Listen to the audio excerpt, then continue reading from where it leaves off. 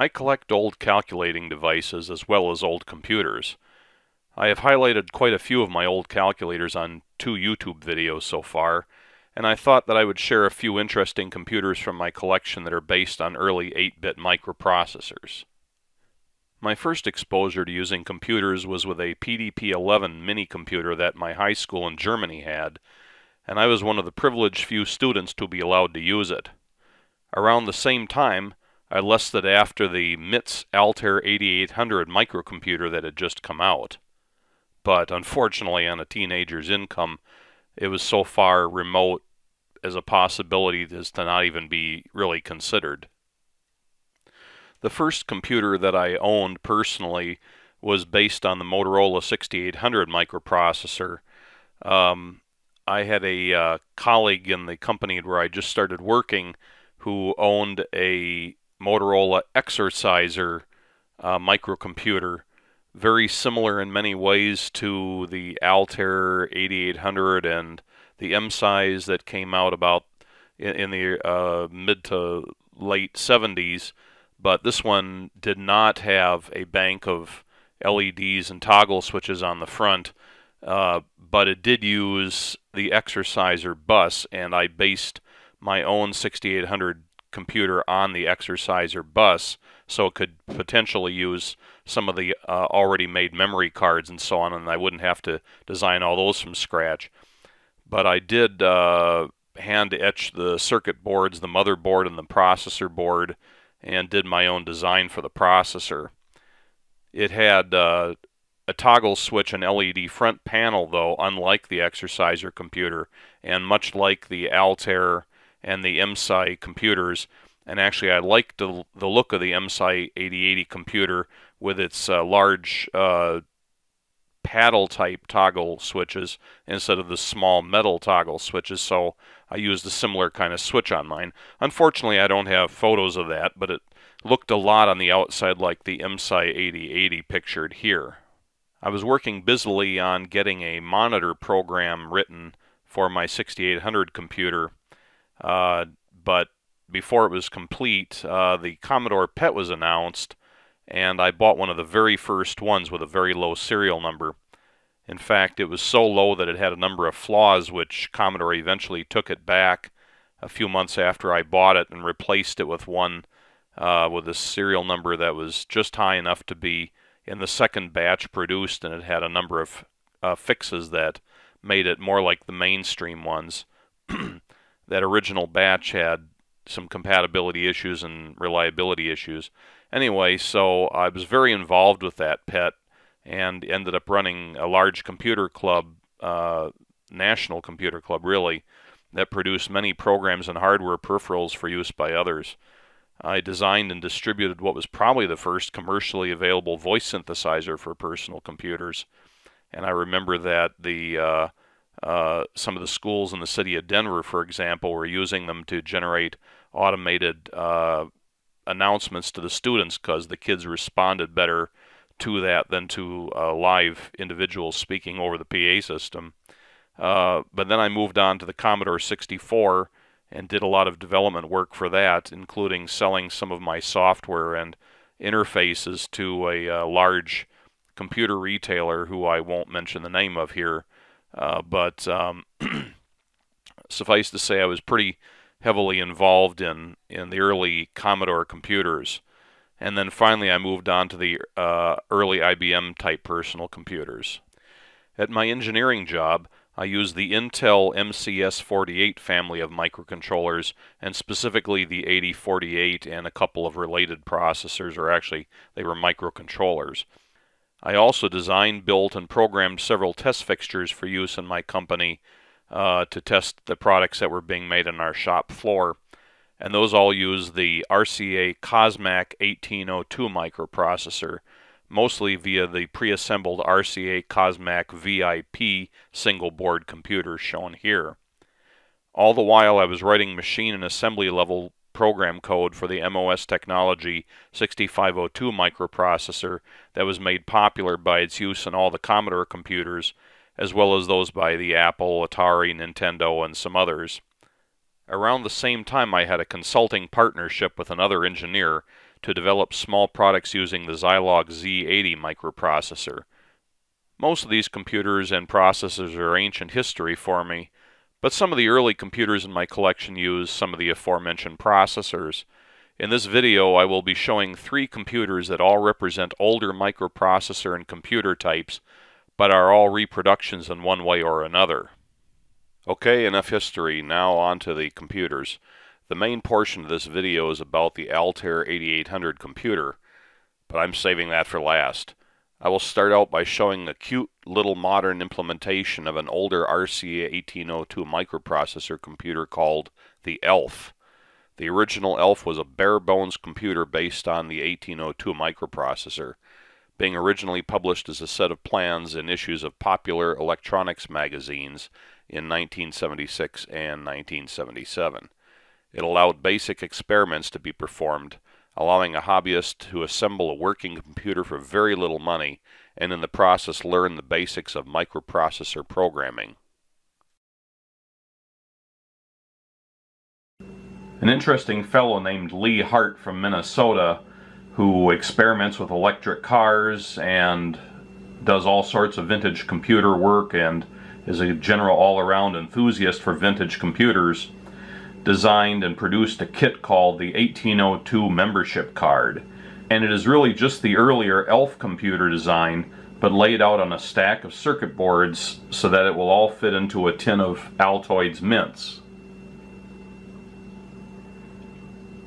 It's on two circuit boards plus the third circuit board which gets soldered onto the back of the Altoids tin after the back's been cut out and uh, you can buy it just with the processor itself you can buy it with the control panel and you can buy it with the so-called faceplate I chose to buy the assembly of all three assuming you buy the whole package it has eight toggle switches and eight LEDs one push button and three other toggle switches for program control. It also has a single bicolor LED which is tied to the Q line. It comes with 32K of RAM and it's also possible according to the website to add another 32K of RAM or ROM to it. It has an 8-bit I.O. port and a serial I.O. port both brought out to this DB25 connector and if you're using an appropriate program on ROM it can communicate serially with another computer over its serial port. As it comes however it can be used as a small microcontroller in much the way that an Arduino or Raspberry Pi computer can although obviously at a lower level of capability. But I only bought this one to relive my old days when I used to do a lot of 1802 programming and this seemed like a, a cute and simple way to be able to execute 1802 code. Now a few words about the 1802 itself. RCA produced this original microprocessor starting in uh, 1976. The chip is made out of uh, CMOS technology. Uh, I think it was one of the first, if not the first, microprocessor to do so. And it has no minimum clock frequency and lowering the clock speed at times, uh, whenever you can get away with it, can result in ultra low power use. Indeed, this uh, clock on here can be slowed all the way down to zero hertz, in which case the processor is essentially in a zero power sleep state. And then you can wake it up by going extremely slowly with the clock or bring it up to its full clock rate and dynamically control the clock as required. If you have very low processing requirements and can take the time to do it, you can bring it down to a very, uh, very slow clock rate and when you need more processing power you can ramp it up to a higher clock rate. This makes it very flexible. So many other microprocessors would stop working with anything below a fairly high clock rate and many of them just suck power like crazy. So the 1802 is really an interesting processor for that reason. It has an 8-bit data bus and an 8-bit address bus, which is unusual for most 8-bit processors, which have 16-bit address buses. However, it does use 16-bit addresses internally, so it gets through to the memory by using the 8-bit address bus in two alternate 8-bit cycles. It also has a rather unique single bit port called Q, which is fully programmable and testable. This is a good way to use the chip for diagnostics. You can use the Q line to implement a serial port and for lots of other reasons. And it has a nice set of dedicated instructions just to support the uh, Q pin. The 1802 was also available in a version built on the so-called silicon on sapphire technology or SOS, which gives it a considerable resistance to radiation and electrostatic discharge. This makes it very useful for military applications, and this along with the ultra-low power consumption has made it a very popular uh, processor in satellites and other man-made spacecraft. As just one example, the Galileo spacecraft used approximately 20 of these 1802 processors in its design. So now I'm going to go over a few of the details on here. These are just support logic chips and everything on here is using chips that were available in the early 18 I'm sorry in the early 1980s so there's no newer chips on here that they could have gotten away with it's all using chips of the appropriate vintage to the processor itself although I'm not sure about the fairly large size uh, RAM chip here that may be a little bit newer, but it's certainly the same kind of technology. There's some configuration jumpers, and then these are uh, port drivers here. Uh, there's a super cap on the board for long-term memory retention with the power turned off, and there's a ceramic resonator, and uh, this is used for the clock, of the processor and there's a trim pot where you can adjust that and change the clock up and down quite a lot. This doesn't allow it to go completely down to DC, but you can certainly mess around with the clock. It's on a nice double-sided circuit board, and then it has a large pin header here for communication to the outside world. The interface board of the 18 and 2 membership card um, has a little bit of glue logic on it. Couple of, uh, there's a CMOS 7400 series IC and a uh, 4000 series CMOS IC, so both CMOS logic chips. There's the power connector, the DB25 connector, uh, a few configuration jumpers, which is used I think mostly for the serial port. Uh, you can design several electrical characteristics in and out. There's some resistor networks. There's the LED bank, of course. Uh, there are the push buttons and toggle switches. And, of course, the header to connect it back to the main board.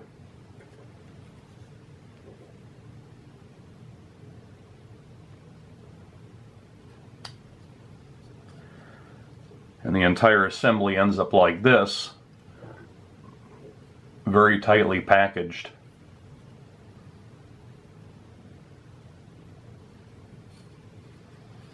And then the whole thing. And you can see here how the back of the Altoids tin has been cut out. It's very thin metal and it's tin plated uh, steel I believe.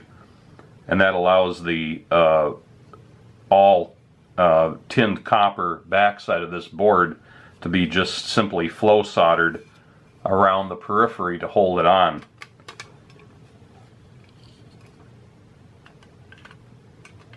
And it's a tight fit, but it does go in here. Just barely fits.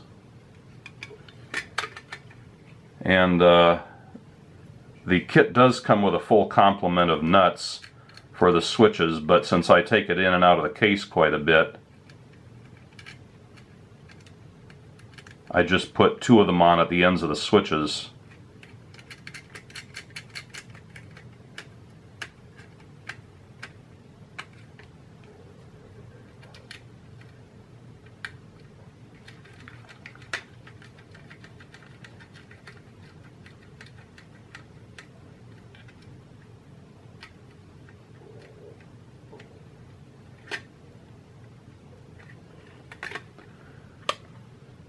that's on there now. And then I've cut a piece of mylar, could be paper as well, just to make sure that if I squeeze the tin that the pins on the back of the board don't get shorted out. But there it is. It, except for the protruding switches and LEDs, it really does fit inside the Altoids tin. Now, there is no power supply in here. There's just not room for batteries or a power supply. And so I took another Altoids tin and uh, basically put a, uh, a, battery pack in there with uh, double A cells and uh, brought it out to a pin header which uh, goes into the connector here. And one interesting thing about this is you can continue to run a program on here even with the LEDs turned off, in which case there's almost no power consumption in here. It's all CMOS and it uses very little power.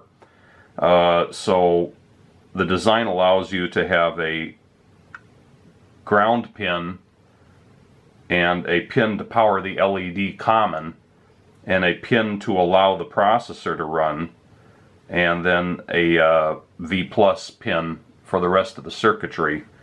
And so basically I've just got uh, three toggle switches here and uh, turning one of them on applies power to the V plus pin, turning the next one on applies power to the uh, run pin, and turning the third one on applies power to the LED pin.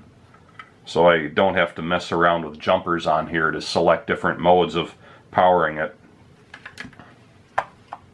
So we're going to do a little bit of playing around here.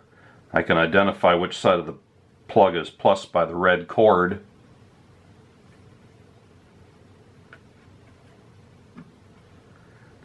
First an overview of the control pins on here. There's no direct control of the address bus on this. Unlike some of the bigger microcontrollers, you can't just force in an address. You pretty much need to start at the low end and then, in other words, by resetting it and then uh, incrementing through it. So pretty limited there and you don't want to be doing any very large programs this way. However, using the port here, you can use a PC to force data into memory and read out of memory and thereby use sort of a monitor program in your PC to program this for larger programs. But I kind of like messing with the toggle switches as long as the program isn't too big. So there's uh, the in button here. This is a momentary button and pushing it toggles whatever's on the switches into RAM. And as soon as it's in RAM, the LEDs will reflect what you just loaded. There's a pair of switches here, which I'll get to in a minute, but then there's this other switch which is called read-write. It's sort of mislabeled for brevity, but in the right position you can read or write memory, but this is primarily used while you're programming. And once you put it to the read position, that makes the memory read only, so it can't be messed up accidentally. These two middle switches are used in three ways. One way is to by turning the one up and one down, you can have wait up and clear down, in which case you're telling the processor to temporarily halt running. It just goes into a sleep state, but everything is remaining intact, so you can turn it back to normal operation at any time. Uh, and then the clear is used to clear memory, or not clear memory, but it allows you to clear the address counter and go back to an address of all zeros for primarily for resetting and for uh, loading a small program in. And then to actually run the program, you have to turn both of those on. The toggle switches, as formerly mentioned, are used only for toggling in data. They're not used for address access at all. And the LEDs only reflect the status of memory not addresses. So it's about as basic as you can get. The uh, ELF computer that this is based on is just the same, uh, except that instead of the eight LEDs, it used a couple of more chips and it decoded the hexadecimal data on the data lines into two uh, a two-digit LED display that could read anywhere from 0 up to F, the hexadecimal uh, range. So uh, that made it a little easier to program, but there isn't much of a trick to remembering the hexadecimal codes in binary.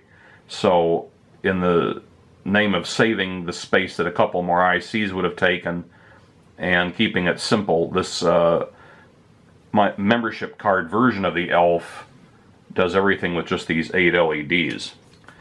So let's put in a tiny little program. It's only, uh, I think it's four bytes long, but it actually does something, which is kind of cool. So we'll start out by toggling in this program. First we have to set up the uh, 1802 for program entry. So the first thing we want to do is use the clear switch to reset the 1802's address bus to all zeros. And that's done by setting, it's actually kind of intuitive, the switch down does the clear. So we, but it only works when it's the only one of these two that's down. So by leaving it down and turning the other switch up, we have just cleared the processor.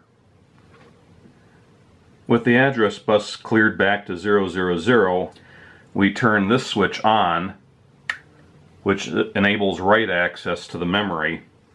And then finally, we bring this switch down to load. So both these switches are down and that together means load memory. Now that nothing's been loaded yet, so the LEDs are all off. Let's put in the first uh, byte. It's hexadecimal 7B. So looking at the first four switches, we turn these three on to make a hexadecimal 7 and then in the right bank we turn on the first and these two to make a hexadecimal B. And then we load that into memory by pushing the uh, in button just a second ago, but not shown in the video, I had forgotten I had the LED power supply turned off. So um, the Q light was not lit up, but I've turned that on off camera and now so that's lit up and as soon as we push the in button here, uh, it'll load the hexadecimal 7B into memory. And the next byte is 7A, which is almost the same except uh, on this one I need to toggle these two switches to be an A. Let's see, one, two, three.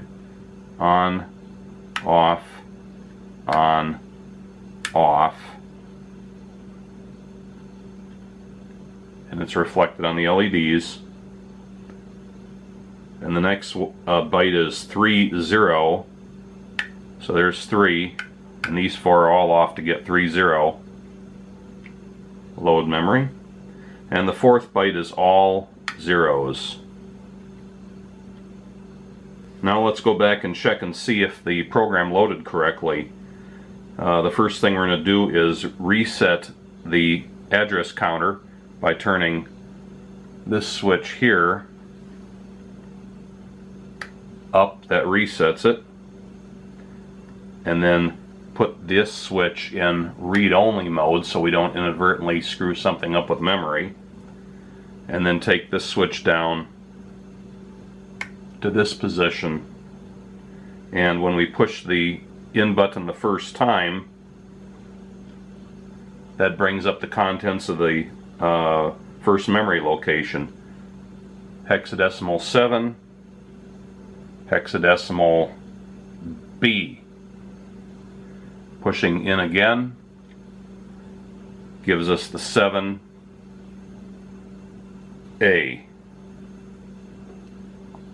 Pushing it again gives us the hexadecimal 3. Pushing it again gives us the hexadecimal 0.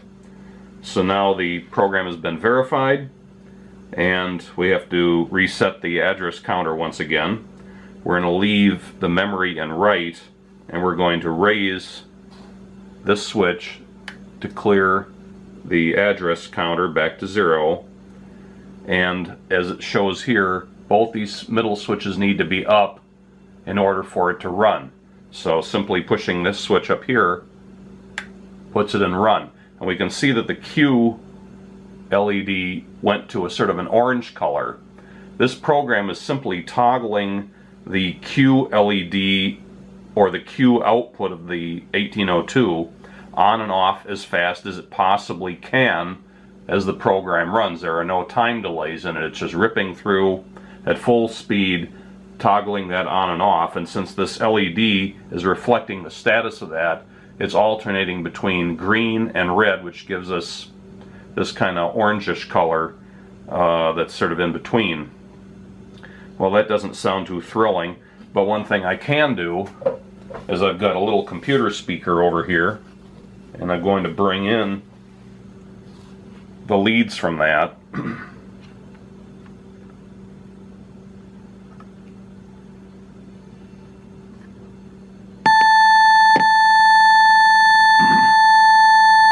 This is the Q line brought out to the DB25 connector, so it's the same signal.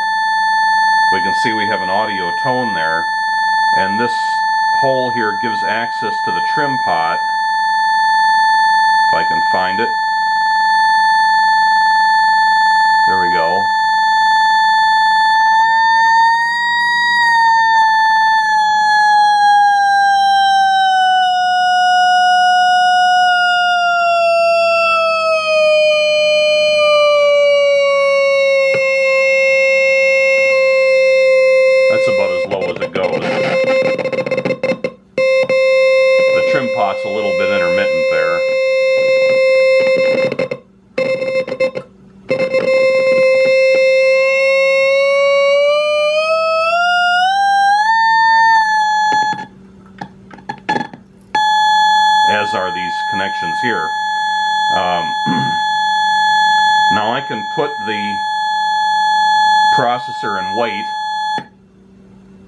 Just suspends the program exactly where it is without messing anything up and then putting it back into run resumes. Wait. Resume. So there's a very simple program running in the 1802 so for a little bit of fun here, I'm going to uh, put in a slightly larger program. This will be similar to the one we just ran, but it'll have a built-in time delay, which will enable the uh, LED on the Q line to be seen flashing. So once again, I'm going to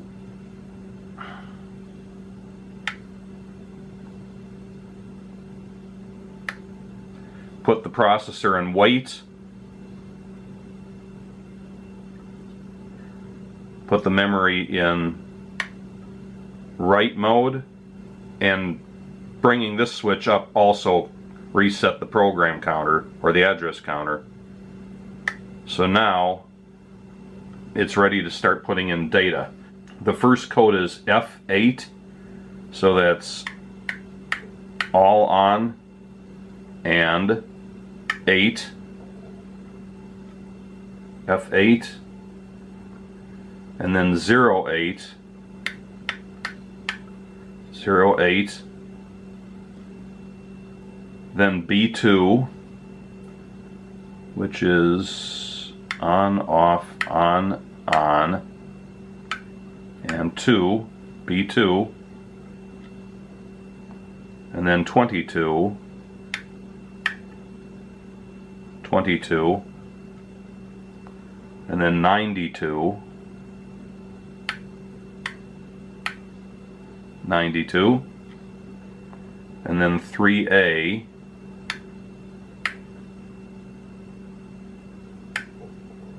Three A, then zero three,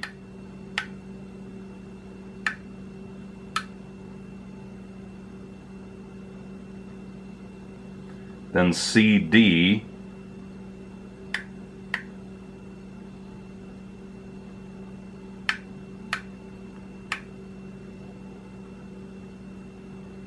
CD, and then 7B,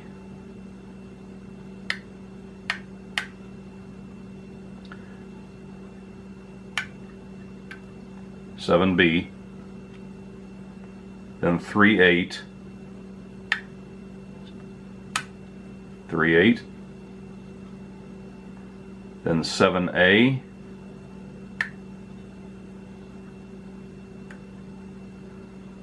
seven A, then three zero, three zero, and then zero zero.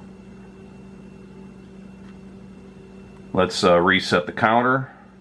First I'm to uh, bring this up here so the only one down is clear. And then I'm going to put the memory in read-only mode. And then I'm going to release this. And I'm going to check my memory real quick. 7, 8, 0, 8, B2, 22, 92, 3A, 03, C, D, 7B, 38, 7A, 3, 0, and 0, 0. So the program is in there good. Now let's just go ahead and once again reset the program counter and then bring both these up for running the program.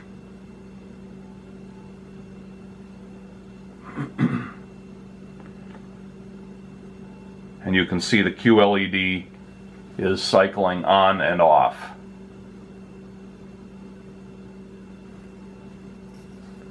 Because this is driven by a time delay in the program, which itself is associated with the clock speed.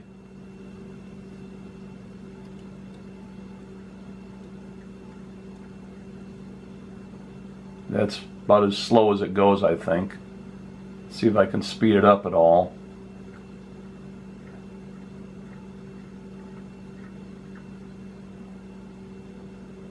There we go. So there's a slightly more complicated program running in the 1802 and you can see how the user interface is done. However, there's no immediate way to go into here and interrogate memory in any specific location without just doing it the way I did it to check the program a minute ago by clearing the address counter and then single stepping all the way through. And unless you keep track of where you are in the program, once you get into it a few bytes, you may forget which address has which byte in it, and there's nothing here to tell you. So again, very rudimentary, but still about as bare bones as it can be and still be useful. And as I showed before, I can halt it.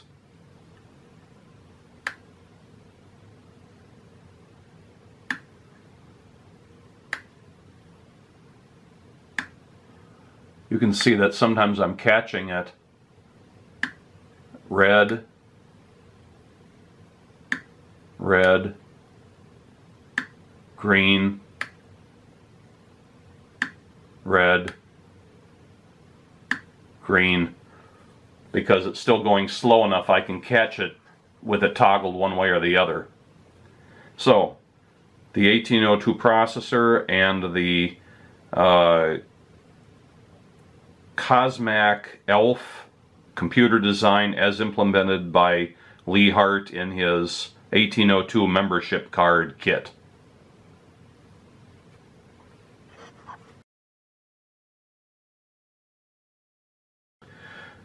My experience with the Z80 microprocessor is very limited, but after I had made Lee Hart's 1802 membership card, he advised me that he had also had a similar kit designed and produced based on the Z80, so I had to buy one for my collection. The Z80 was introduced in 1976, the same year as the 1802. introduced by Zilog, a small startup company with a handful of employees. It was designed as a sort of enhanced 8080 microprocessor, the same processor that was used in the famous Altair 8800, but with more programming capabilities, a larger instruction set, and other enhanced features.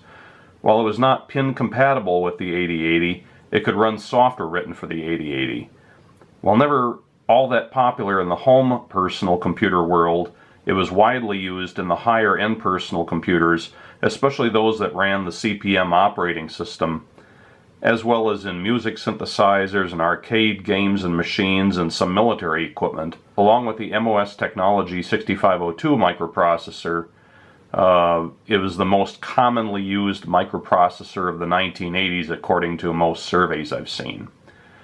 The Z80 membership card is a fancier product than its 1802 based inspiration uh, in that it had a monitor program in ROM, a hexadecimal keyboard of sorts, and an LED alphanumeric display with a few status LEDs thrown in. It comes with a 32K RAM um, here, as well as a, a 32K ROM, which has its operating system in it. Uh, it has one 8-bit input port, one 8-bit output port, a serial I.O. port, and some interrupt I.O. Like the 1802 membership card, it fits into an Altoids tin. However, because of the fact it doesn't have toggle switches and LEDs poking out, the whole thing actually fits into the tin. As with the uh, 1802 membership card, it can be used as a standalone trainer to learn Z80 machine code programming, and it can also be used as a controller for small projects, much as you might use an Arduino chip. I have been begging Lee Hart to make a membership card based on the Motorola 6800 or one of its closely related microprocessors, but unlike the 1802 and the Z80, actual 6800 family ICs are no longer produced and thus supply of those chips is uncertain and prices for what you can find are quite high. I think he's still exploring the possibility of using uh, a newer 18 or 6800 derivative which would still use a similar instruction set and it might be somewhat useful but not as uh, clean a match as these. So anyway, um, let's put this together and make it do something. First off, uh, a bit of a review of the board. This is more packed in that it has more functionality than the 1802 product. There is some glue logic here, all 7400 CMOS family stuff, a voltage regulator, the aforementioned RAM, ROM, and the Z80 processor itself. And there are two long pin headers on the circuit board, both ends, but uh, only this one brings out the address and the data bus, and the other one is for I.O. Um, the front panel board really doesn't use the I.O. Uh, and it does use some of, well, I should step back on that. It uses selected pins from both ports and uh, it has some glue logic underneath here to scan the hexadecimal keyboard which doesn't have any printing on the keys but on the circuit board it does have 0, 1, 2, 3, 4, 5, 6, 7, 8, 9 and then A, B, C, D, E, and F kind of an odd arrangement, but there it is. Uh, and then there's a 1, 2, 3, 4, 5, 6, 7 segment LED display and 1, 2, 3, 4, 5, 6, 7 uh, LEDs for status of various sorts. There's a power connector here and uh, it's possible to stack these in different ways to bring out the I.O. pins for other uses, but as it goes together here, it's only using what it needs to support this board. So I have to make sure I have the right connector because they're not keyed in any way. P1 goes to, let's see, P1's there, that's the I.O. pin. And P2 here is the, the other bus, so this is P2 there. And I have to make sure I line that side up as well. It only takes a few pins out. I think it's mostly getting power from that. other connector, come to think of it. So there's the whole package.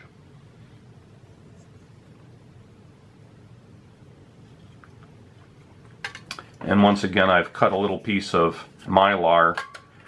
It could be cardboard or paper as well, just to keep the pins from shorting out to the case when it drops into the Altoids tin. And once again, it's a very close fit, but it does drop in there. Computer in a can. So because of the reflectivity of the uh, Altoids tin under these lights, um, I put a washcloth across this to just blot it out. I would just run it outside of the can, but then you tend to grab other parts of the circuit board and uh, then I really want to be holding on to, so um, we'll do it this way. I'm plugging in the power supply here, and it comes up with cold 00, which is a status. Um, now a reset is a F key and a 0 key held down together, which is these two.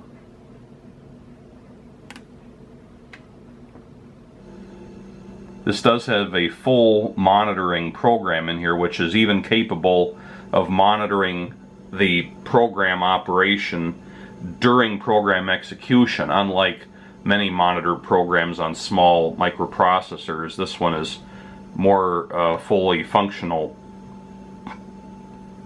so every key as previously mentioned has a hexadecimal function for entering data and addresses and I don't know if it's you can see it. I'm thinking it's not too clear under the LEDs here, but I'm blotting out the lights. You can kind of see there's a green LED here.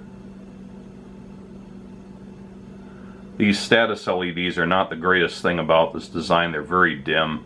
You can see them in a more normally lit environment, but if you have any bright lights over your work table or anything, they're really hard to make out. I've been seriously considering replacing this with some additional LEDs, but this whole thing is a LED package that includes both the uh, seven segment LEDs as well as these status ones so uh, it's not like it's easy to break these out I kind of wish that he'd done this a little differently but oh well um, This key is also a step key. This is an advance key. Most of these have a shift function and the F key down here is also the shift key. Uh, so if you use that, holding it down and then pressing one of the other keys, you can get secondary functions. Like this is a go key, this is in, this is out, this is back. Uh, these two are a hard reset, these two are a soft reset. This shifted is a register key. Uh, I already mentioned this is a shift key. This is memory key. This is a modify key. Uh, this also has a function IX, IY, IR, AF prime, DE, HL, PC, BC prime, SP, AF, BC, DE prime, uh, so there's quite a few different functions. Uh, you can select a different register to view, such as the SP register, the AF register, the BC register. You can go to a specific program location and run it at a uh, at the current program counter. You can read an input port you can write out to an output port. You can step through one instruction at a time in the program counter. You can examine a memory location that you specify. Uh, once a register memory or I.O. command starts, you can advance to move ahead one location. You can back up to move back one location. You can modify the contents of the current location and uh, depending on the type of location, it can be uh, two digits hexadecimal or four digits hexadecimal, and then the aforementioned soft and hard resets. Let's cold boot this again. So we're sitting in a cold boot mode. Uh, and it's reading 00, zero because it's the first time it's been booted since it's powered up. This was a boot and a power up at the same time. Uh, so, uh, as mentioned before, I can do the uh, the boot there, and it comes up with the green here. Again, I'll try to block out the lights a little bit to make it show up a little better. This is I've written in with a Sharpie. It's monitor. This is the thing telling you you're in monitor mode instead of in run mode. There's basically just two modes, run and monitor mode, and the next LED position over is the one for run. Uh, there are the nine keypad commands. For example, if I want to examine memory, I push the E key which is mnemonically useful for examine. And this is the E key here. So I push examine and then F, oops, let's see, there we go, F, F, um, 1. So location FFF1 is a so-called tick counter which is part of the monitor program and it's always counting up. And since I'm monitoring once again I'm in monitor mode and I'm monitoring this address location in memory and it's counting up in hexadecimal and it's basically doing that in real time. And there's very little delay in the monitor, so it's pretty much what it is at that moment. You can see it only goes up to FF and then resets. The A key is mnemonically associated with advance. The reflections in my eyes off the Altoids tin were driving me nuts, so I got rid of the can for the moment. Um, Anyway, so I'm back in FFF1 here, uh, counting up, and I can push the A key to advance to FFF2, which just shows me the contents of that at this given moment. Or I could use the B key, which is here, mnemonically associated with back up, to show the previous contents. And there we are showing the tick counter again. and here's some rapidly changing value and a static value and another rapidly changing value etc so you can step through the program in this way. I don't know if you can hear it or not but there's a piezoelectric buzzer here that just makes the slightest little pinging sound. Um, and you can't get all the status on this from just the LED display here it's also important to see these LEDs come on. And for sake of uh, being able to see a little better I'm going to turn off some of my illumination here.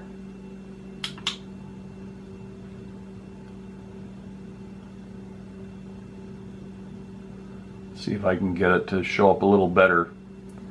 So um,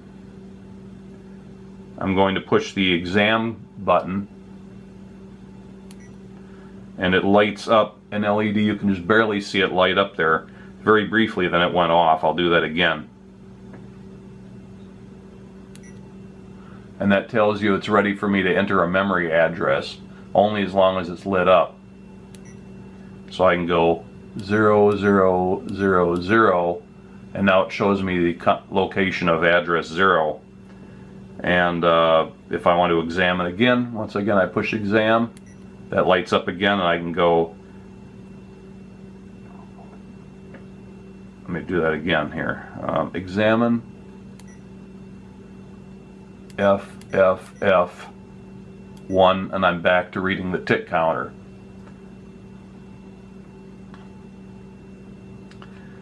So in this way you can kind of see how you get around in the built-in um, monitor program.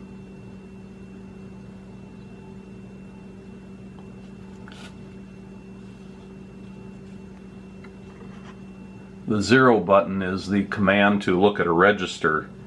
And uh, again it's going to be kind of hard to see it here with the uh, lighting. But let's see what happens when I push that.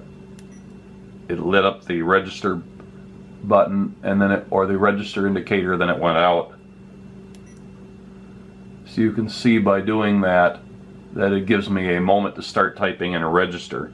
And the registers are identified on here uh, by pushing the 1 through the D buttons where 1 is the SP register, 2 is AF, 3 is BC, C is DE, 4 is DE, 5 is HL, 6 is PC, B is BC, 7 is IX, 8 is IY, and 9 is IR, uh, etc. So uh, by pushing this I can take a look at the IX register so I press the register, then I button 7, and that's the way it tries to show you the IX. That's its abbreviation for IX, and there's 0000 hexadecimal in the IX register. Or I could look at IR, which is the number 9 key, and it shows IR and the contents of that register. Same thing, AF or AF prime as it's shown here. So you can get around and look at all your registers. I already showed how to look at memory. Uh, you can modify and so on. Uh, I'm not going to try to show an actual program running on this uh, because of the interface on here to try to get it to do anything useful takes a longer time to type in and it's also running a program right now in the form of the monitor program so um, I don't think it's all that beneficial to try to type in a program to demonstrate that the thing runs. Uh, but you can see it's a pretty nice little package. I think the major impediments to really making it usable is that these LEDs are awfully dim and that the it's a little hard to remember unless you use it a lot which key does what because it doesn't say what they are on the key and most of them it has a function written down on the circuit board, but the top row it does not, uh, at least not where you can easily see it. And unless you have a chart, you can't remember what the secondary and tertiary functions of the keys are. And luckily they do give you a, a chart in the manual that shows what all those are, but you almost need to keep that next to you when you're working with it. Um, I also find that even though I have this uh, insulator in the back of the case. It's slightly undersized as you can see here. It doesn't quite go to the edge and there are live pins that are right along the edge that can be shorted out. So if I were to use this more than I have, which is really just for demonstrations, I would have to make a newer insulator to make sure it doesn't occasionally short out. But still kind of a cool product. Um, I should note that the soft and hard reset are a little different than I had it before. Um, the hard reset, as I mentioned, is pushing these two, and the soft reset, when you push these two buttons, it doesn't seem to do anything.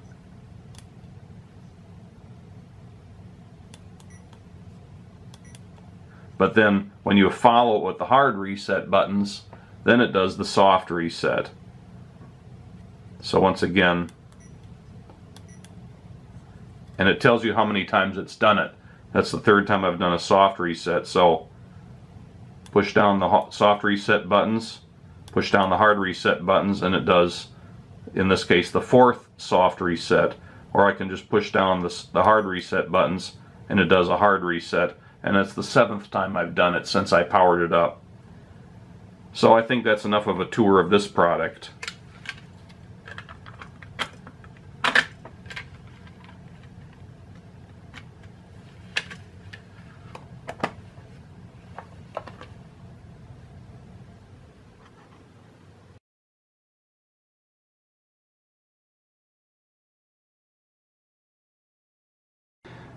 So I'd like to talk about my uh, Altair 8800 today.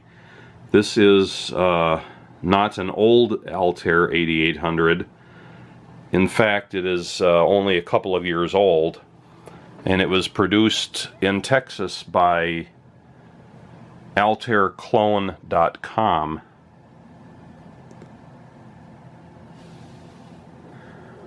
This is in the same form factor, same size, same colors, virtually identical case, some very small differences. Exact copy of the front panel.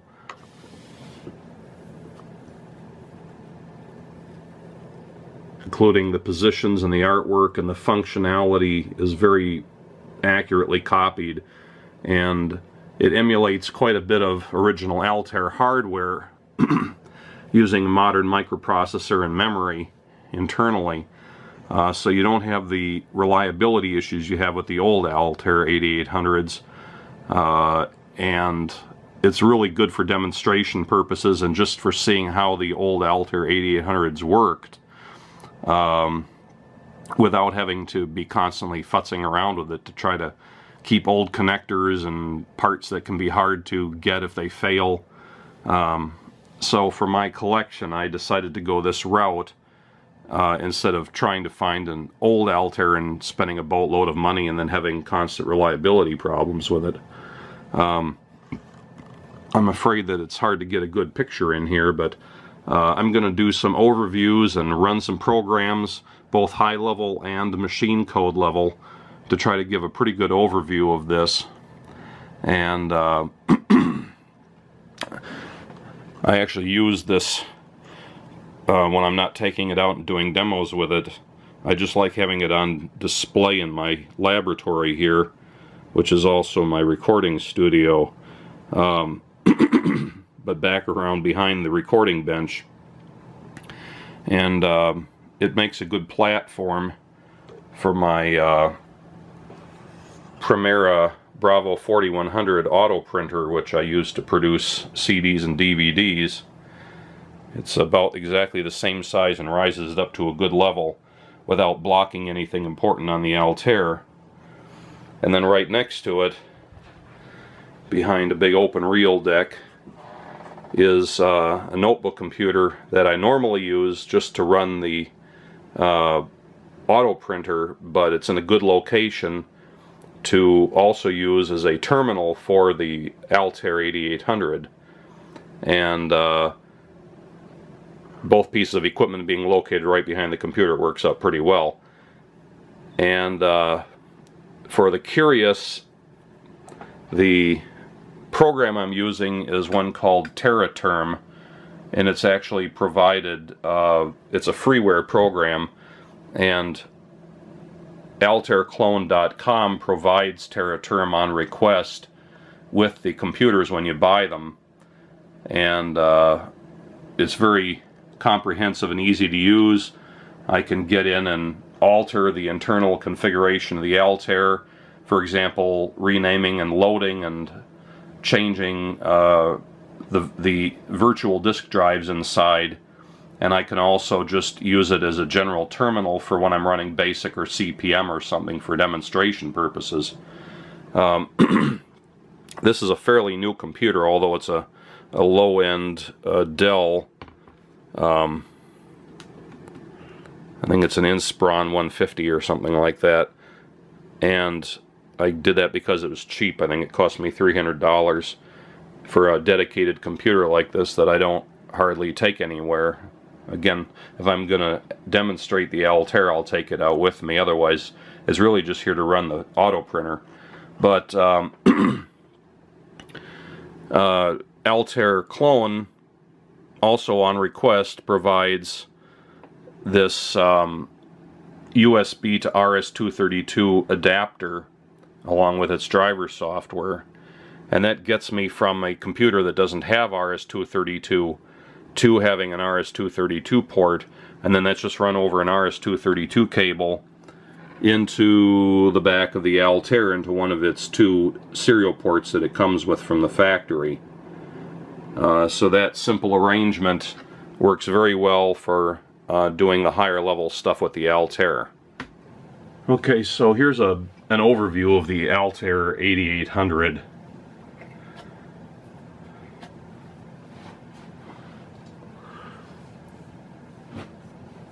This is a clone of the actual Altair 8800 in a full-size case with a exact duplicate of the front panel and running a modern microprocessor inside that exactly emulates both the hardware of the 8080 microprocessor used in the Altair as well as the hardware circuits in the Altair and other aspects such as the serial I.O. card for communication communication to uh, my terminal as well as the floppy disk controller and three floppy disk drives which I have uh, already loaded up. They're essentially non-volatile flash memory. I've got them loaded up with uh, CP/M operating system, Altair Basic, and uh, the Altair DOS. Um, and there's also a couple utilities in there, such as a uh, disk bootloader and some other things. Anyway, this uh, computer passes many rigorous tests for duplication of the original Altair uh, to the point where you can't really tell the difference between them in operation or appearance and uh, it will even do things like playing Fool on the Hill or other music over an AM radio uh, which the original Altair would do but the uh, most of the other clones that have been produced will not do that um, so I'm going to give a bit of an overview of the front of the computer. First I'm going to do a reset. I had it running uh, another program there and now I'm terminated out. Um, I apologize for the angle of the view here. I've got very little room for my vintage computers and this computer is sort of jammed in in the side of a hallway and uh, the camera is up against the other wall and it's as close as I can get it. So I think you can see almost the entire uh, front panel of the Altair, at least everything important. Um, off to the far left and actually out of the picture is the power switch just over here where my finger's pointing. And then the operational switches are all in one row here. And then the bank of 16 switches which have three different uses are along here. And then there's uh, a couple of status lights and a bank of 16 LEDs for showing the status of the address bus. And then a bank of 8 LEDs for showing the data coming out of memory at a specific address as displayed on the address LEDs and then a bank of status LEDs along here. The ones I need to look at most are these, these, and this one right here, the white light. So a quick overview of the switches from left to right. The first switch is a stop run switch. Um, it's center locate or uh, spring return to center and it can be pushed up momentarily to stop the running program, return to center, or push down against a spring to initiate running the current program. There's a single step switch which causes the uh, microprocessor to single step through the program one memory cycle at a time. And by memory cycle, I'm referring to going to the current memory address and extracting whatever's in memory at that location and then loading that into the processor. And in some instances a command in machine language would be only a single memory cycle but in most cases it's going to be multiple memory cycles. For example two cycles or three. For example if you wanted to load in a memory address the first code in machine code would be the command itself to load something into memory. And then since the memory is 16 bits, an upper order and a lower order, 8 bits each, it takes two more memory cycles to load in the lower and the upper order of the address. So a simple load memory instruction takes up three memory cycles. Anyway, so single stepping goes through the program that's in there one memory cycle at a time, and all of the microprocessor status bits are brought out to these LEDs. So by single stepping and watching all these LEDs, you can see in great detail what's going on in the processor and troubleshoot your program that way, especially if you don't have any other tools available to you. The next switch is spring return up, spring return down, normally located in the center position. Pushing it up against the spring causes the computer to go to the memory location specified here and get whatever data is at that memory location and display it here. And so it's called examine because it examines a specific memory location. Pushing it down against the spring causes it to automatically increment to the next address from the one that was shown and then go get the memory at that location and display it. So if you want to look at just one location, you'd use the switch in the up position for examine. If you want to look through multiple memory locations, you would toggle it up and down here to the examine next position and step through your program looking at each sequential memory location. The next switch does the same thing, but instead of viewing or examining memory, it puts something into memory. So if you have a memory location shown here, and then you set the rightmost switches, which are the data switches, to the data you want to go in the memory location that's shown here, and then push the switch up against the spring to the deposit position, it's going to take those switches and put that data into that memory location. And if you want to do multiple memory locations, loading one after another, it's the same way. You start with the first one and deposit it, and then you set the next set of switches and deposit next by pushing the switch down. That increments to the next memory location and deposits there. Then you set the switches again for the third position, do a deposit next, and so on and so on. The next switch is the reset clear, and basically what that does is it resets the microprocessor, tells it to stop doing what it's doing, reset the program counter back to zero. But it does not, in and of itself, stop the processor from actually running. By resetting it, it aborts whatever it was doing and forces it back to memory location zero and if you haven't stopped it otherwise, it's just going to pick up at memory location 0 and continue running. Assuming your program starts at memory location 0, that would cause the program itself to reset and start running fresh. If your program doesn't start at memory location 0, you probably want to stop the processor before doing a reset or you'll get some weird results. So the proper reset is to push the switch up into the stop position and then push the reset up and then release them, this leaves you in memory location zero with the processor doing nothing.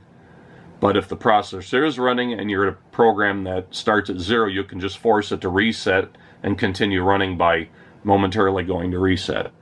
The next switch is also normally in its center position and by pushing it up it protects memory if you push it down it unprotects memory.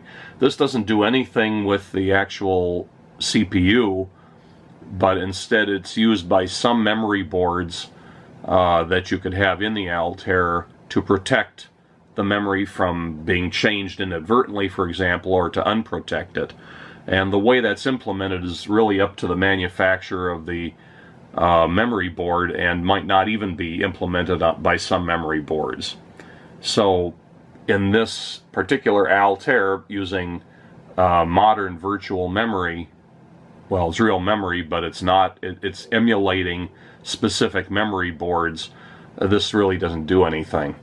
And then there's two aux buttons, which don't do anything in the original Altair, but they can be wired up to do specific things in any particular implementation of the Altair.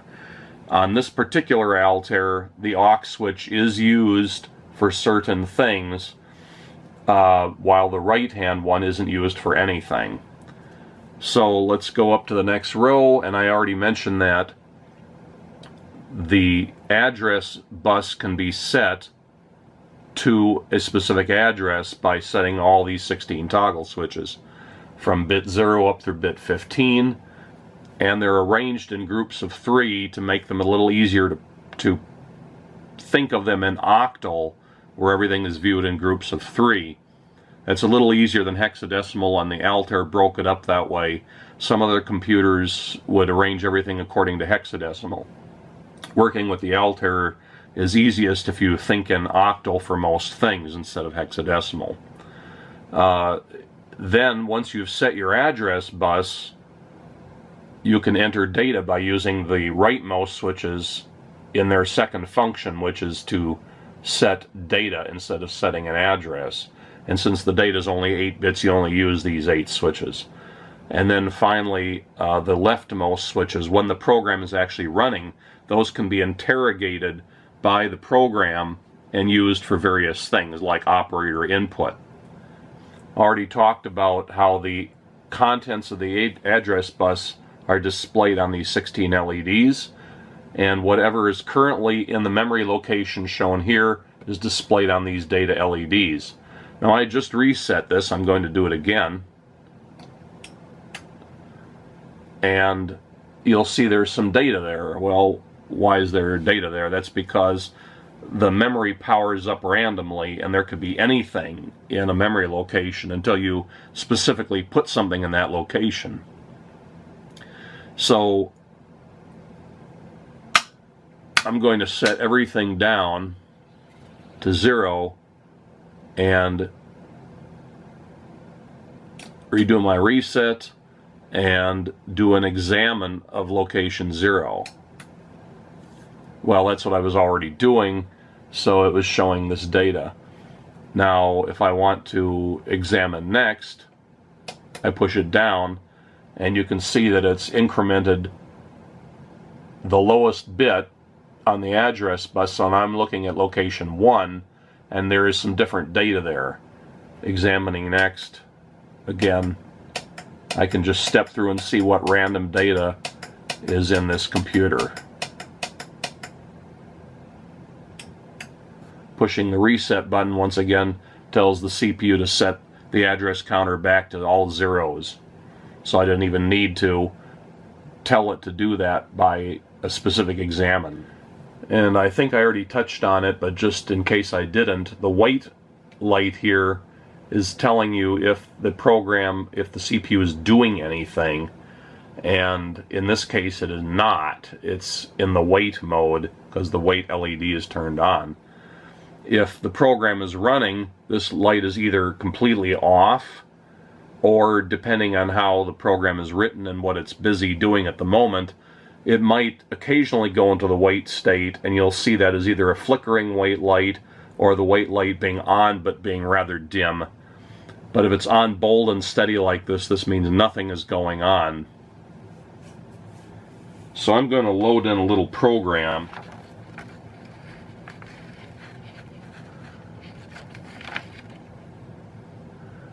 This is one of the first programs written for the Altair. Some people would say the first but certainly one of the first programs, and it's called Kill the Bit.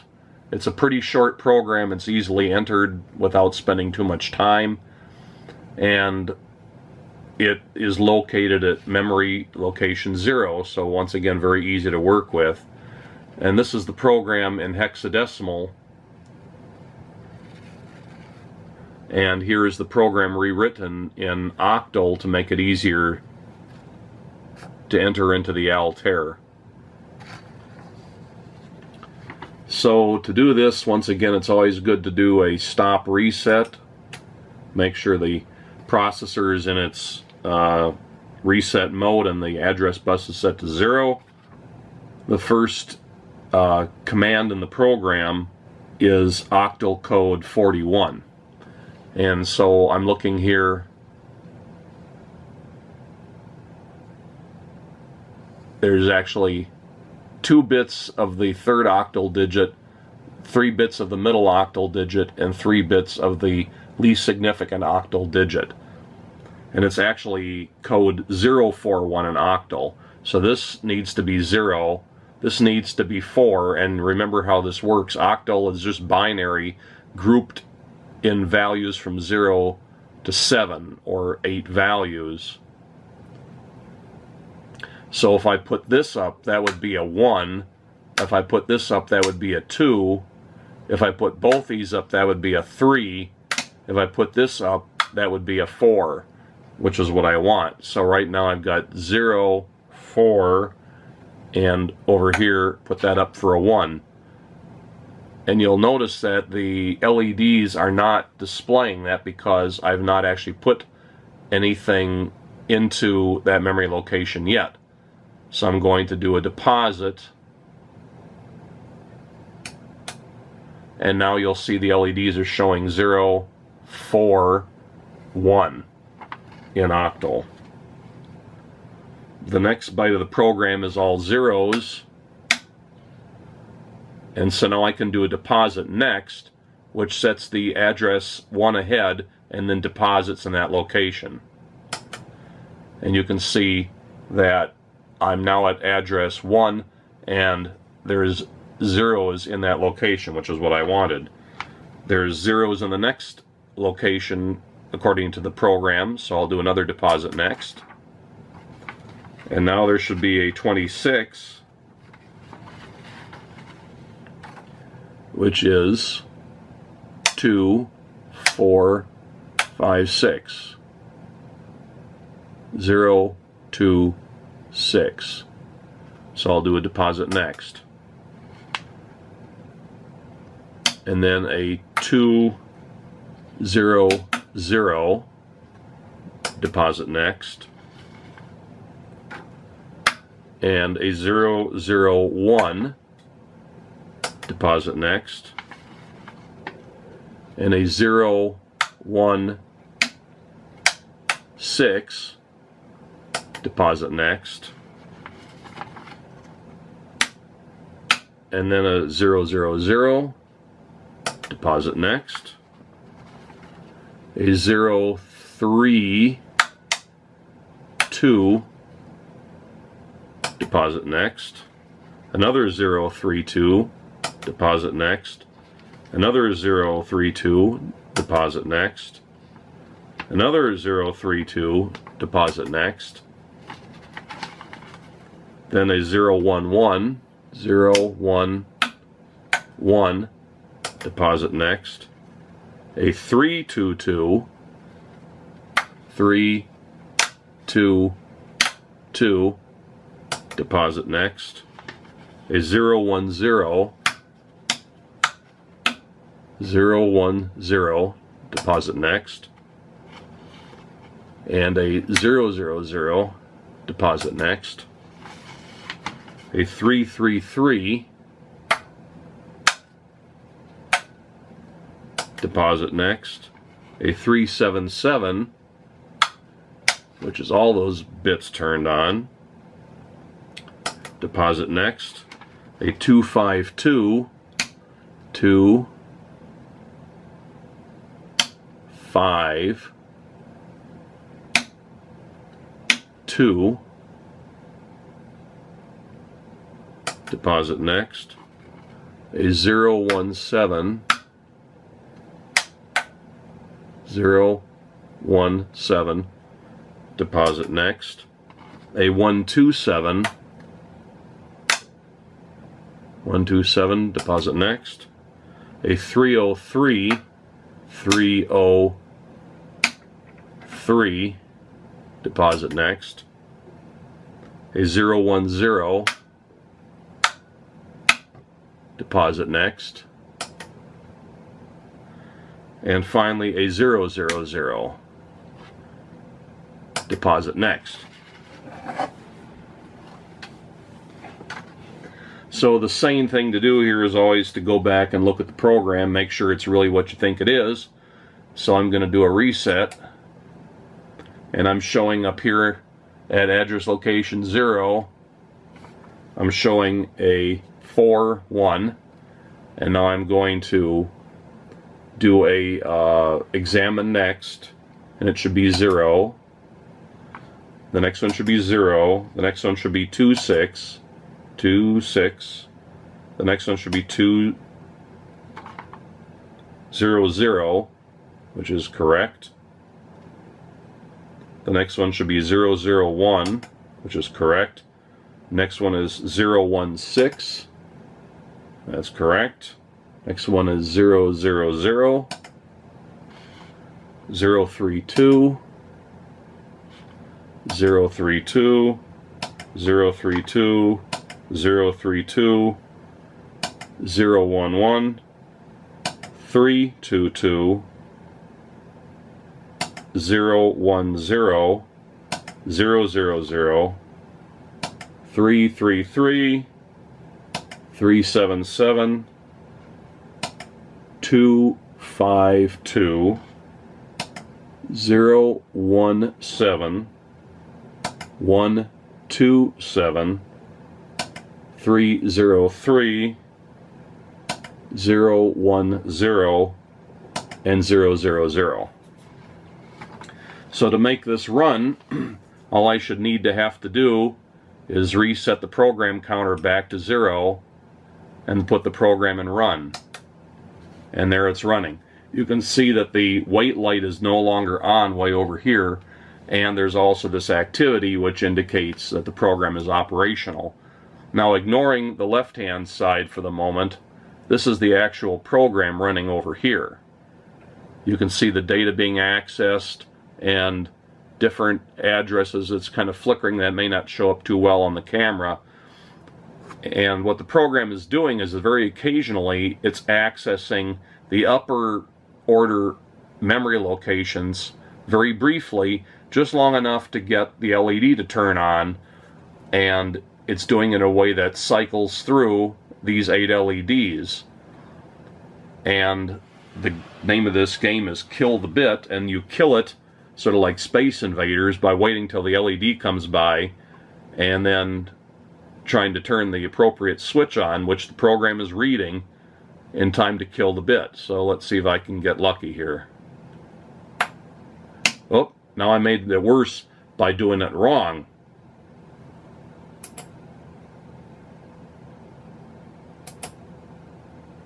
Oh, I made it really hard now.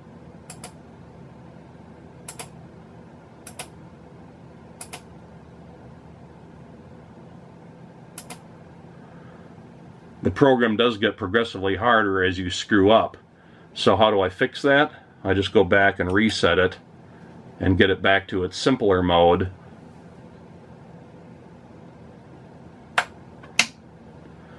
Ah, but I left it on and that was treated as making it worse. So once again, I'm going to reset it.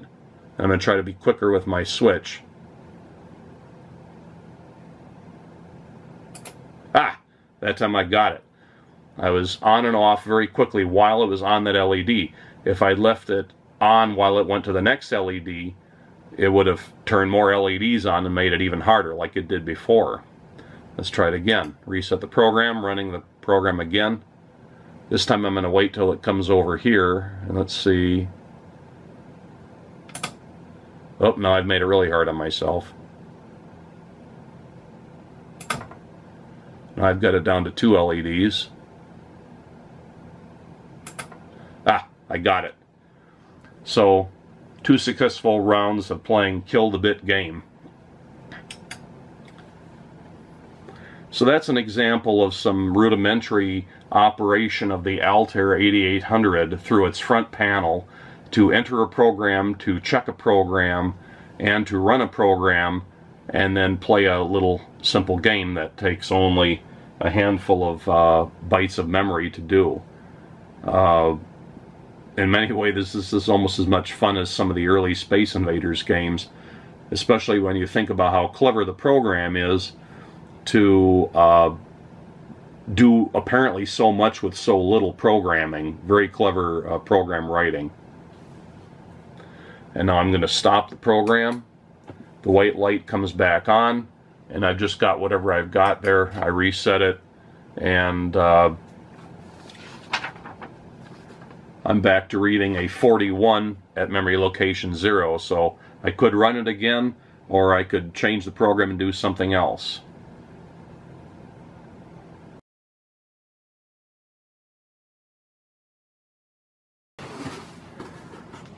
Alright, so this Altair um, has three disk drives in it. Um, the original Altair would have had a floppy drive controller circuit board and uh, several, up to several, I think, I don't know if three was the maximum or not, but at least three floppy drives could be connected.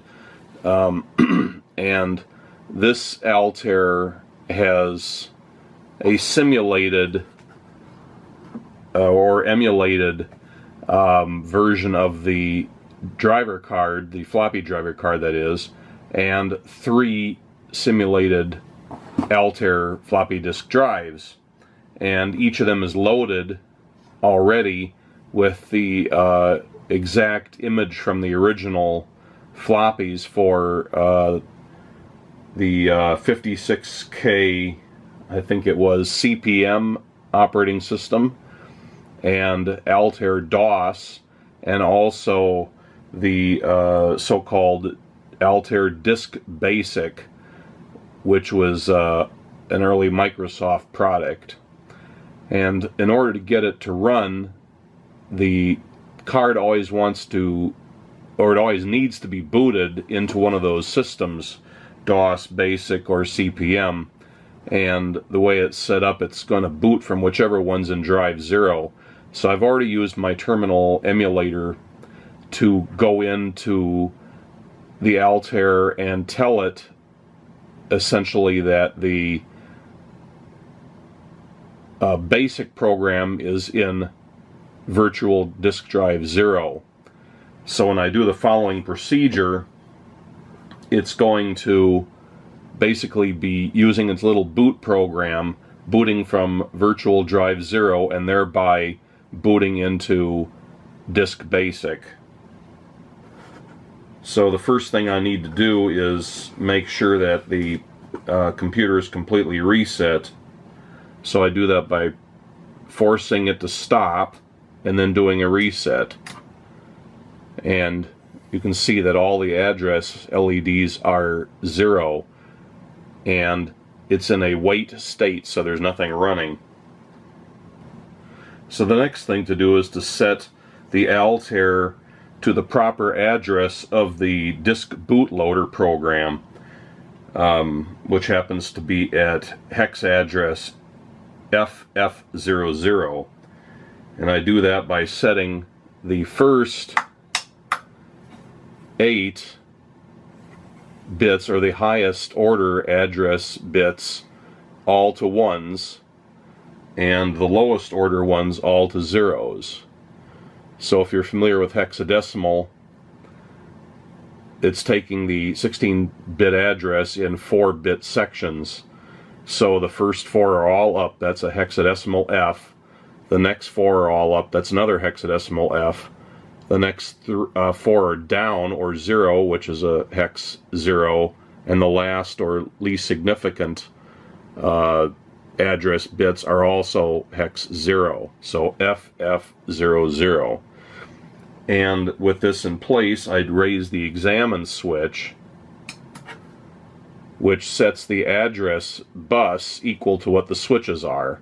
Once again, FF00 and it's no longer looking at these switches. The bus is already set by pushing the exam switch up. Now it doesn't matter what I do with the switches, the address bus stays where it is. So with the address bus set to the first byte of the bootloader program, the next thing I have to do is tell that bootloader program what I want it to do when it runs. And the first thing I need to do is uh, well, as soon as it as soon as it boots in, it's going to need to know where the disk drive um, is located, and this is a uh, virtual 2 SIO board, and in order for it to work, I need to set the first three address bits or the highest order address bits down, which becomes 0001. Everything else stays the way it is.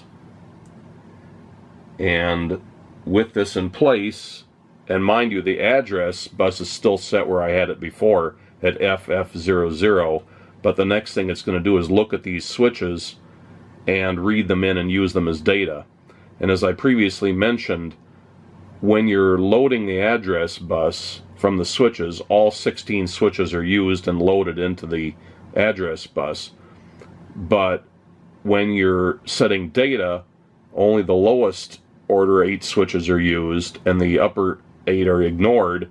And when you're actually running a program, the upper 8 switches can be read sort of as an operator input device and used in the program. So the program, as soon as I run it at FF00, is going to be looking at these switches and it really wants to see this 0001 binary pattern here.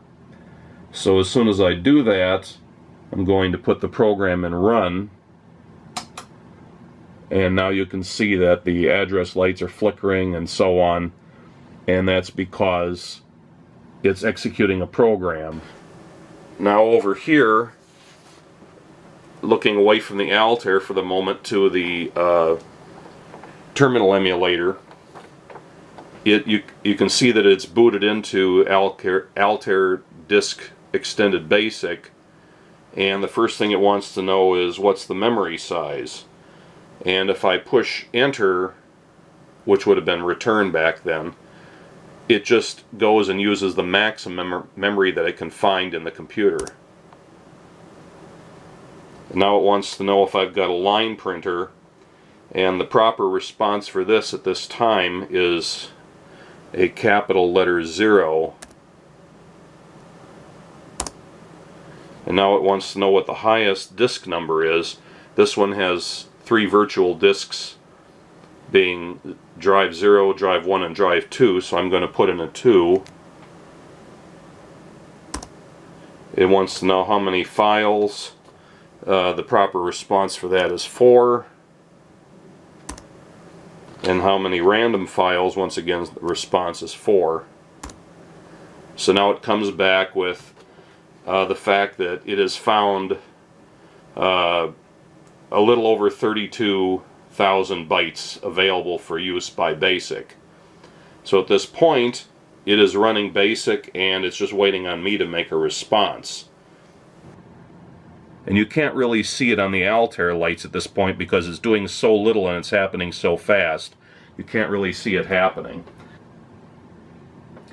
Now, I think it's interesting to note that if you look here, all the address lights seem to be pretty static. They're all the same intensity and it doesn't seem like anything's going on, but yet the program is running. And basically what it's doing is it's just polling the keyboard to see if I push something, otherwise it's doing nothing. It's just running a little loop to see if I've entered something because it doesn't have a program, a basic program to run yet. Um, it's just running its own little routine and basic saying hey the operator hasn't pushed a key. I'm just going to sit here with my arms folded. So it's doing very little. But every time I push a key it has to service that. And um, on the screen here you can see when I push the enter key that it is processing that and shifting everything up But now I'm going to put in a bit of a program. It's just a single line program. And this will be to tell it to print a number.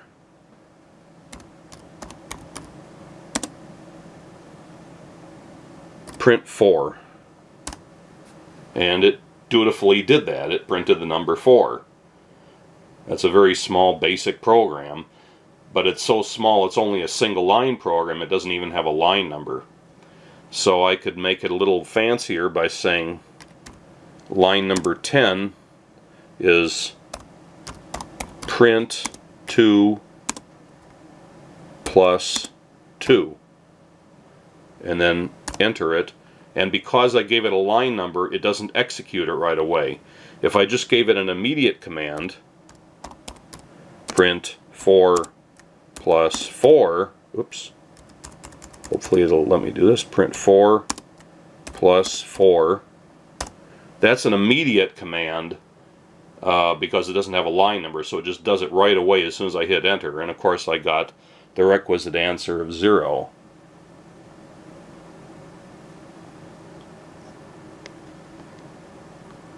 So now I'm going to actually run my little program, which is just line 10 and then print 2 plus 2.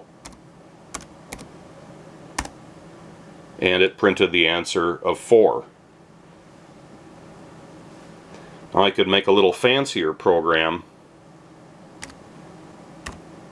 typing over my existing line 10 and put in a for next loop and say for variable i equals 1, 2, 10, enter. So that's the first line. Then I'll put in line 20. Print variable i. And then line 30, third line of my program, next i. So it's going to set i to 1, print out the contents of i, which would be 1, and then encounter the next command, which tells it to go back to line 10, increment i to 2, print it out, do it again, this time printing 3, next time doing 4, and when it finally has done it 10 times, it will exit the program.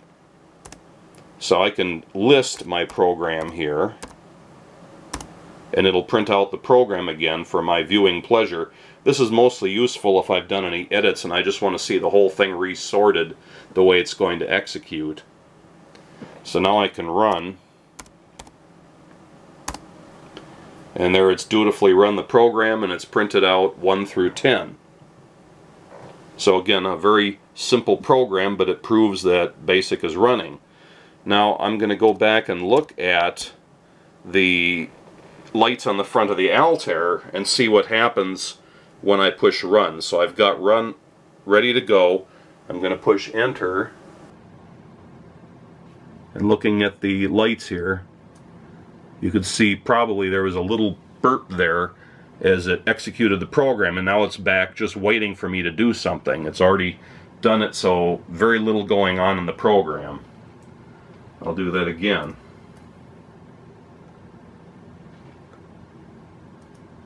So just for about a half a second, was there any activity besides just doing a simple wait routine?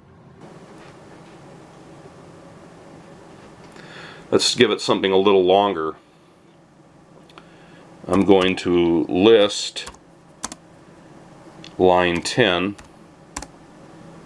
and I'm going to, I don't remember the command for this so I'm just going to re-enter it 10 for i equals 1 to 10,000. I'm going to list to make sure the program looks okay. And now I'm going to run and I can expect to see the lights on the Altair doing something for a little longer period of time. See how long it actually takes. One, two, three, four, five, six, seven, eight, nine, ten, eleven, twelve, thirteen, fourteen, fifteen, sixteen, seventeen. You can see it's taking a while. This is no speed demon.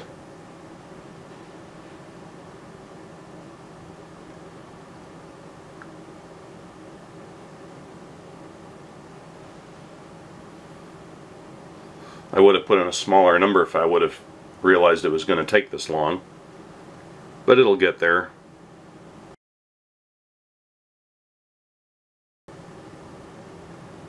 Almost done now. And 10,000 and we're done. So let me try another little program here.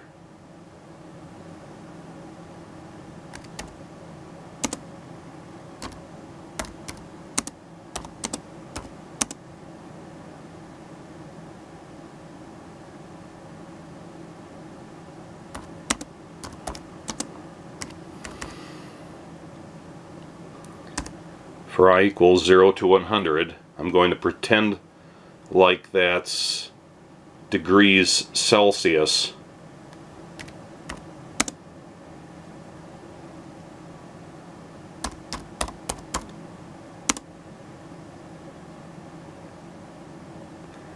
Uh, let's see.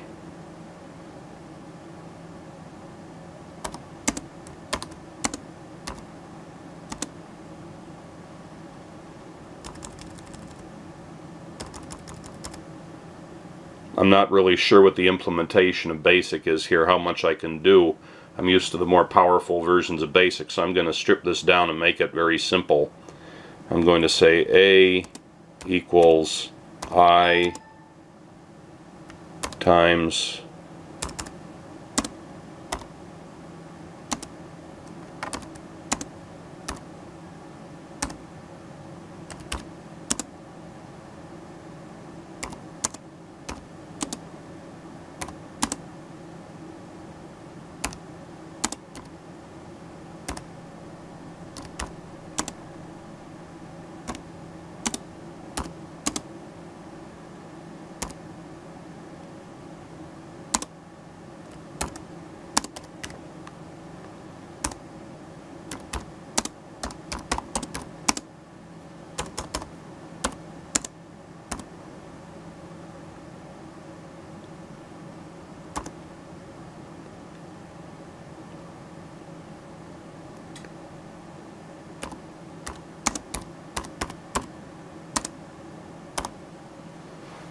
So there's a little program.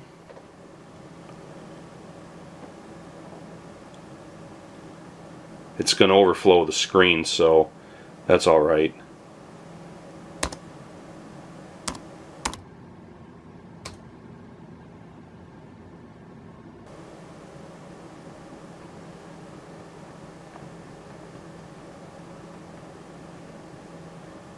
Let's do a list. I'm going to retype this for i equals 0 to, oh, let's say 20. See if it understands this. Shouldn't need to do that. Verify my whole program looks alright. So that was a little Celsius to Fahrenheit conversion program and it started with a value of 0 degrees Celsius which we know is 32 degrees Fahrenheit and then it went all the way up and gave us the Celsius or the uh, Fahrenheit values. Uh, if I relist this and I'm going to change 10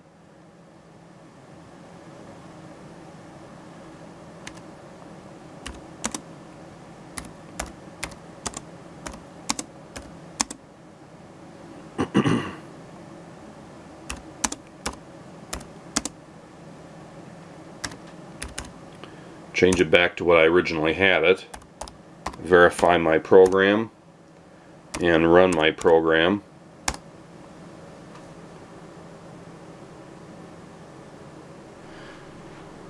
So the loop ended with a value of 100 degrees Celsius and the program turned out a value of 212 which of course we know is the uh, equivalent Fahrenheit value uh, going from the 0 Celsius being the freezing point of water or 32 degrees and going up to 100 Celsius or the boiling point of water or 212 degrees Fahrenheit.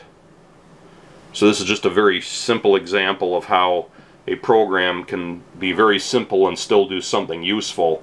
And I could have formatted a little differently to show the Celsius with the Fahrenheit next to it so you could actually get a usable table. And if I had this hooked up to a printer, I could have printed out the table. But I think you get the general idea.